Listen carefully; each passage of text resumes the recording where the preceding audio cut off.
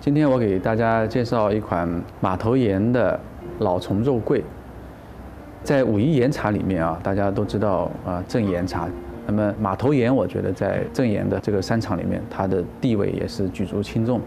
首先，它的位置非常好，在整个武夷山风景区的中间的地带，就是大黄蜂的后面，而且它的这个面积也是比较大，所以它产量也比较多。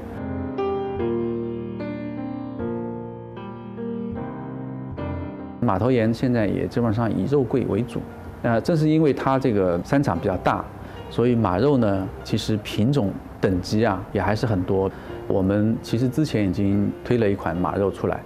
那为什么我会又推出这一款新的马肉呢？其实因为我在喝到这款新的马头岩的老虫肉桂的时候，我觉得非常喜欢，我觉得还是有必要把它推荐给大家。这款马头岩肉桂跟之前那一款呢，它有时候不同的是这个茶树啊，相对来说树龄要老一些。我们叫它老虫肉桂，也是为了做一个区别。那肉桂这个品种啊，叫老虫的很少，因为肉桂本身呢，寿命大概也就是在四五十年的时间，就树龄特别大的肉桂是很少的。那么老虫肉桂和其他的肉桂它有什么区别？我们怎么样去区分这个老虫还是新虫？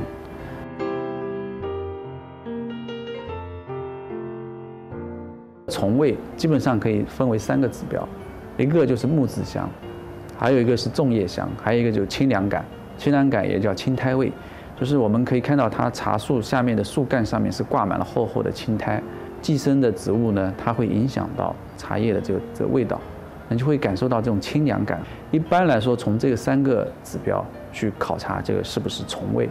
如果这些指标都比较明显，茶汤里面可以喝得到。那我就觉得这个茶树可能是比较老了，毕竟这个茶我不是我自己做出来的，所以我只能去喝，我就感受到，哎，它是有这个味道的，是有虫味的。那另外还有一个就是杯底香，也就是这个闻香杯的这个杯底香，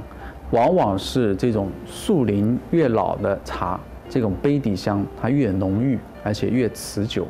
它的挂杯香啊就是比较浓郁，比较持久。那我们这一款马头岩的老虫肉桂就具有这样的一个非常显著的一个指标，就它的挂杯香就非常浓郁，这个杯盖香也是一样，也很浓郁、很持久。这个就是这款老虫的马肉跟之前那款马肉最大的区别。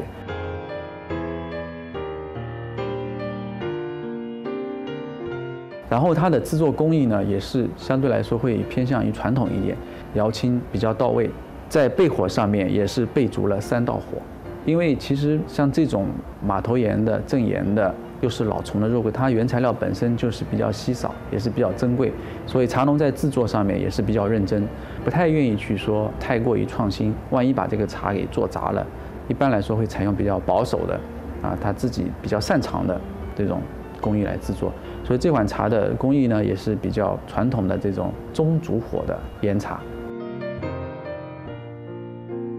那这个茶的马肉的特征就非常的明显，香气非常的浓郁突出，比较霸气的，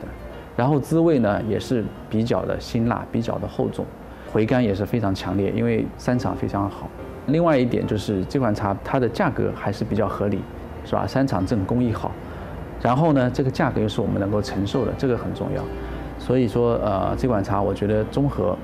各方面啊都是。很不错的，这个就是我想推荐给大家一个最主要的一个理由。